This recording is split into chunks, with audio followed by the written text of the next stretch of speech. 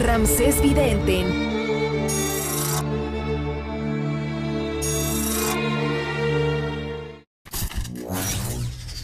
Lamentablemente, anoche también falleció el actor y comediante Tony Flores y nos enlazamos con nuestra compañera